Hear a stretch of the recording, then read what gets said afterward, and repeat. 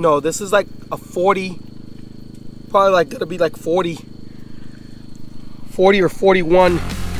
That's huge. Good lord. Woo!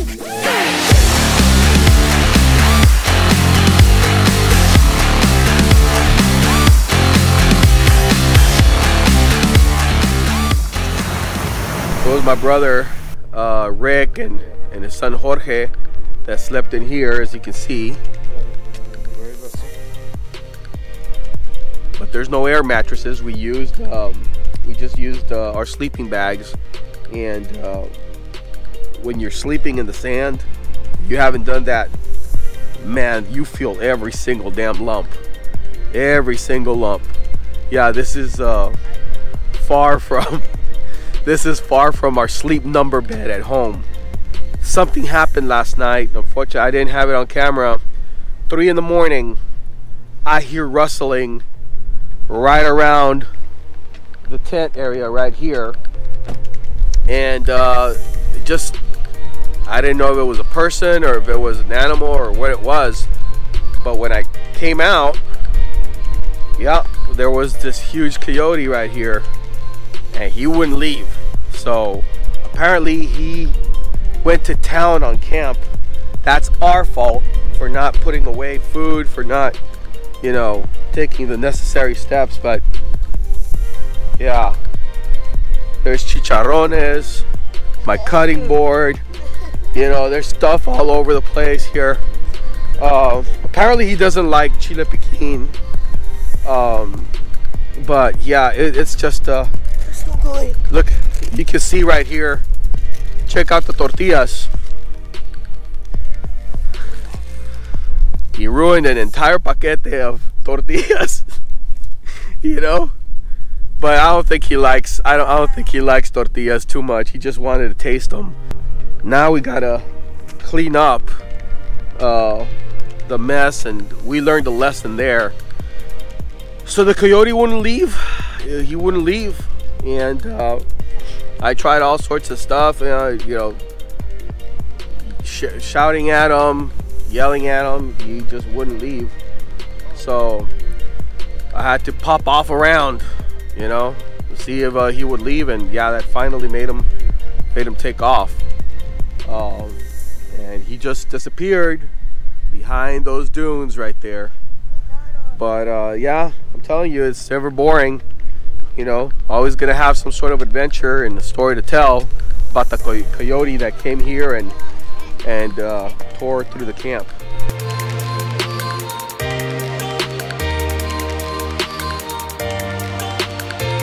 So we finally packed up camp. Um, look at the way the ocean is. It's so beautiful, so calm. It's not angry anymore You can see over there just how nice the beach looks. It is a little chilly, a little windy, but no big deal. Uh, guys, uh, I got a big problem over here. My truck. My brother says there's a big problem over there with his truck. Let's go check it out. Another mechanical problem sprung up with a Blazer, and my brother decided to call it a day. We escorted them back to Beach Access 6 to make sure they didn't encounter any issues on the way home. Hey guys, well, man, what an adventure! Already in this this morning, um, my brother's truck broke down, and uh, found out it was a fuel pump. It was leaking a lot of fuel, and uh, he just decided to pack it in, uh, put it back on the trailer, and take it back home. Um, little things, you know, that caused uh, major delays uh, on this trip. It's a Sunday, and uh, we're barely making our way out to the East Cut. Um, really, really running late. Um, however, we're going to be here until Wednesday, so we still have plenty of plenty of time to enjoy ourselves. So it's not a big deal, uh, but we're going to make the best of it, and uh, the party will continue. As we drove along the beach, I noticed the high tide had washed up debris. I'm glad we decided to wait out the surge from the cold front. After a few minutes into our drive, I encountered my friend Ray, aka the Blue Line 5.0 on YouTube. He was on his way back from the East Cut where he had camped out. Ray and his friend briefed me on the East Cut conditions and shared some of their highlights with me. Here's a couple of his video clips from Friday and Saturday. All right, we came to a point where uh, I'm gonna have to probably call it quits because I don't think I'm gonna make make it towards this end to the East Cut because the tide is getting high. Oh my gosh. Here we go.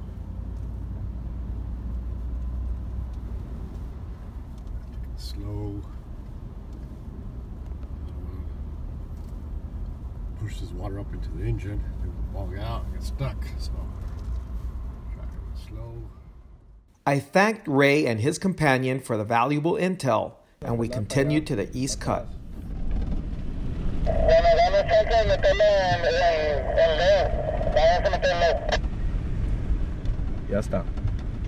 We finally made it and found a suitable campsite away from the water. At this point, it was still cool and rain clouds were visible on the horizon. So we have built a base camp, and uh, it's my brother Rick, right over here, and my nephew Jorge.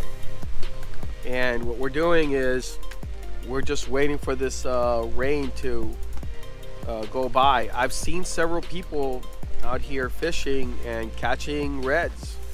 Um, we we are our, our main priority was to get here, find a good place to camp, and uh, settle in. Finally, have some lunch. We've lost track of time. We don't even know what time it is. You know, we don't. There's no phone, cell phone service out here, so it's not like we care about that anyway. But I can't say that we have. Uh, we're having a bad time. At least I'm not having a bad time. I love being out here guys i don't know if you can tell but you know i, I hear it's supposed to be um, gay spring break at the island well i don't know about that but that'd be a sign. See the rainbow over there. And it's fabulous. So you've been following my channel. If you know that you know i'm still learning. We're still learning.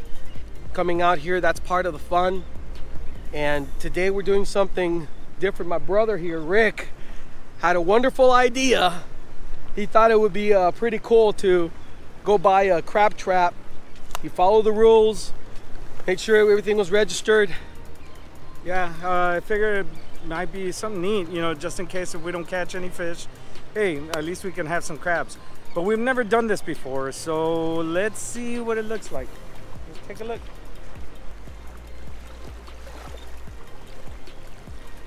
Wow! Wow! It's not a bust. Yeah, no, not a bust at all. But you know what? We got one crab. That's good. It's better than zero. I guess the crab trap works. Uh, who would have guessed? huh? It's a blue crab and it's a male. It doesn't have all the eggs, so we can. This is definitely a keeper. It's over five inches from stem to stem. We're good, Rob. Oh, I guess the four of us can share one crab tonight. We'll have some for breakfast, Rob. We'll, we got. We just got to give it some time. yeah, we're we're gonna do the Mexican dad breakfast. Everything with huevo, man. You put everything with egg and uh, Lots of chile and lots of garlic. garlic, chile, tomate, cebolla, Yeah. And you got yourself a Mexican dad breakfast. Oh, maybe maybe some queso, Yeah. Yeah. maybe some work. cheese. Yeah, that's what we do. No me pa' qué. Es government cheese. It's late in the afternoon. Today's been quite an adventure. I, I've, you know, uh, I've been fighting this cold. Still came out here. I haven't had, haven't had a cold in over a year and a half. I've been waiting so long, planning for so long to have this trip, and then all of a sudden, you know, I'm stricken with this cold. It sucks. But I'll tell you what doesn't suck. The fishing today has been great. Yes, it's just been I don't know like how many ladyfish, but you know, ladyfish put up a good fight, man. I I had I enjoyed myself with ladyfish. You know, I mean they were they were they did they did fine. We did get uh, quite a bit of whiting, and that's what we're gonna be uh, having for dinner actually. that was the plan. That was the goal, is to actually be able to uh, catch our own dinner. And uh, so the high tide had been coming in over here, and uh, so we decided to camp a little closer to the edge of the dunes here. Um, we put our little uh, privacy tent over here, our bathroom. Got a little canopy going, a little kitchen, the coolers. Then I have uh, the tent, you know, set up over here. This is supposed to be base camp. And uh, I got Sandy, Sandy, uh, my GX460. Uh, she's acting kind of like the mothership. Uh, she's the pantry. You know, that's where we're keeping the food and some of the other supplies. This is basically the stationary vehicle, the go-to vehicle, uh, first aid, anything that is of an emergency. And then we have my brother's Jeep over here. The Jeep is uh, dedicated to scouting and uh, doing some other stuff uh, like that. So the Jeep really helps.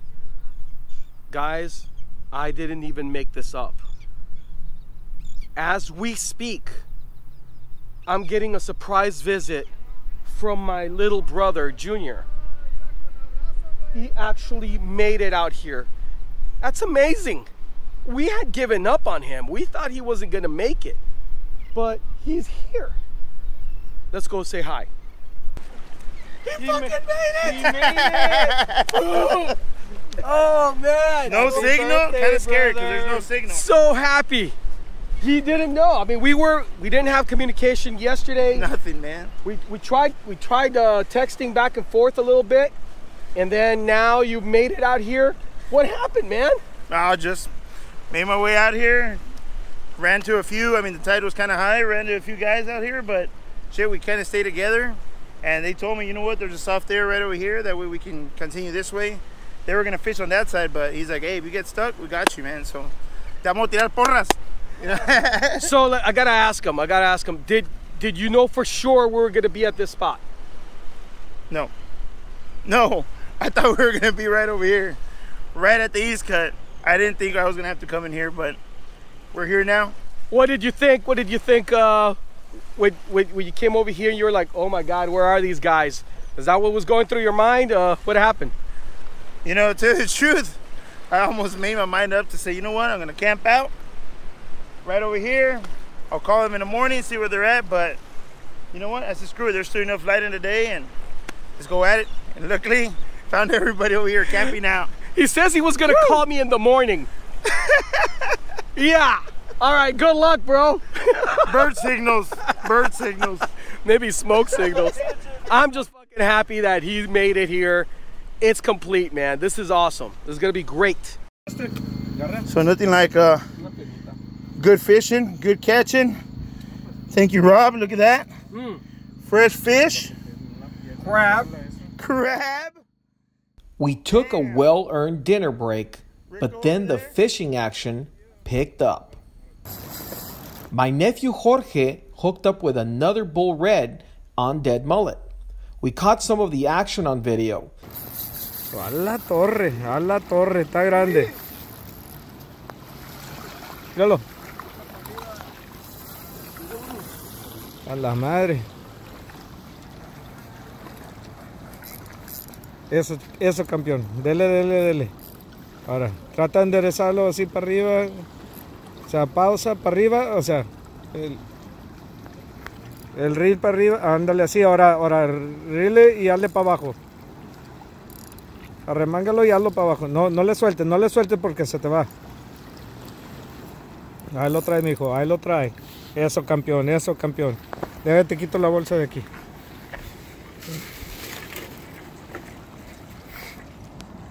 Ahí lo trae, campeón, ahí lo trae. Todavía lo traes. Es tuyo, es tuyo, mijo. Ya mero sale. Ya mero sale, papá. Míralo, míralo. para afuera, para afuera, sáquelo para afuera. Eso, campeón, eso.